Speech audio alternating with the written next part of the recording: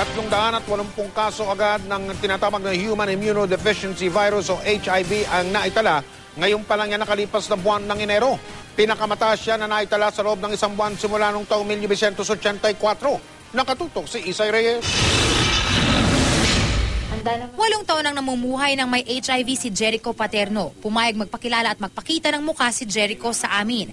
Nadiskubre raw niya na HIV positive siya noong nasa Dubai siya. Nagulat ako nung sinabi nila na na positive ako for HIV. And at that time, hindi pa ganun ka, ako ka-aware. I was ano, depressed pa ako noon na hindi ko alam kung paano ko sabihin sa family ko.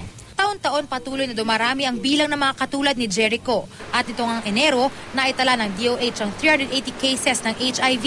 Pinakamataas na naitala sa loob ng isang buwan mula noong 1984. 376 dito mula sa sexual transmission, apat ang sa pamamagitan ng needle sharing. Karamihan sa mga bagong kaso nasa 20 hanggang 29 na taong gulang, edad kung kailan marami umano ang sexually active. Mahigit 80% ng transmission ay mula sa pakikipagtalik sa kapwa lalaki.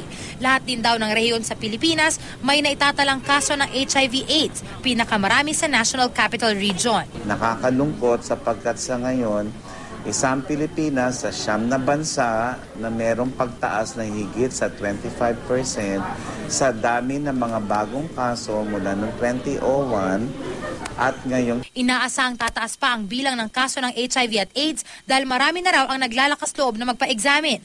Ayon sa DOH, dapat mag-ingat at maging responsable. kung hindi po kayo makakapag-abstain, hindi kayo makaka-maintain ng relasyon sa loob ng um, marriage institution o kaya naman ay hindi kayo magiging mutually faithful, gumamit na ho kayo ng kondom para mailigtas yung buhay nyo.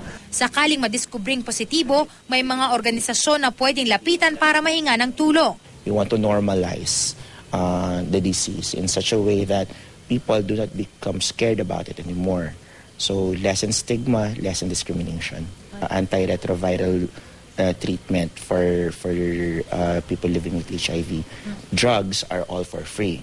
We do have counseling from the treatment hubs. Para kay Jericho, hindi matatawaran ng mga aral na natutunan niya dahil sa sakit. Pero simula raw nang maintindihan niya ito, natutunan niya kung paano pangalagaan ang sarili at makapamuhay pa rin ng normal. I've learned my mistakes, pero I have to move on naman kasi hindi naman nagtatapos yung buhay ko because of being HIV positive. Always think a positive outlook in life. We can still be productive, we can still be uh, magiging meaningful pa din naman ng buhay.